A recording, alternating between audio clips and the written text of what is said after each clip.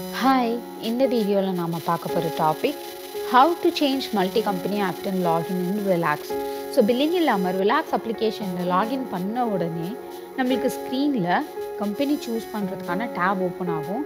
If at all அதை நம்ம cancel பண்ணிட்டோம்னா நம்மளோட ரிலாக்ஸோட டாப் ஆஃப் த ஸ்க்ரீனில் கம்பெனி நேம் அங்கே விசிபிள் இருக்கும். ரிலாக்ஸ் பக்கத்தில் பிபிஎஸ் மார்ட்னு இருக்குது ஸோ அதை டபுள் கிளிக் பண்ணும்போது நம்மளுக்கு அகெயின் இந்த செலக்ட் கம்பெனின்ற டேபு ஓப்பன் ஆகும். அதில் நீங்கள் எந்த கம்பெனி நேமோ சூஸ் பண்ணிட்டீங்கன்னா ஆட்டோமேட்டிக்காக அது அந்த கம்பெனியில் லாகின் ஆகிடும். மேலே பார்த்தீங்கன்னா தெரியும் இப்போ இந்த கம்பெனி லாகின் ஆகிருக்குன்னு ரிலாக்ஸ் பக்கத்தில்.